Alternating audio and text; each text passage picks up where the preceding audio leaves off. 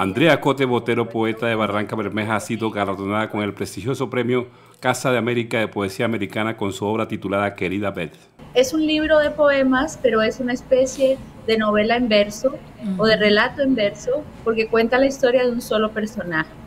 Resulta que yo tenía una tía, la hermana mayor de mi mamá, que vivía aquí en los Estados Unidos y que siempre me decía, ¿por qué no escribes mi historia? La obra premiada aborda con gran sensibilidad los retos de la migración, el feminismo contemporáneo y las dificultades de adaptación en un país ajeno. Mi historia se llama La pesadilla americana. Y claro, porque ella no había tenido una vida tan feliz como se la habían prometido en este país.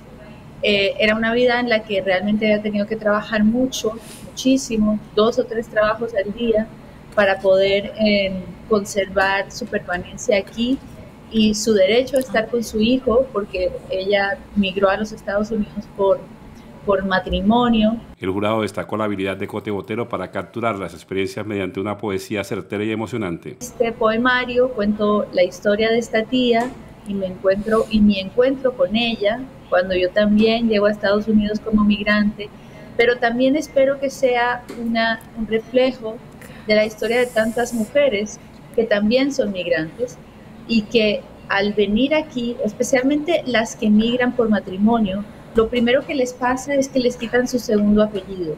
Este galardón posiciona a Querida Beth como una de las obras más relevantes en el panorama poético actual y refuerza el papel de Andrea Cote Botero en la literatura latinoamericana.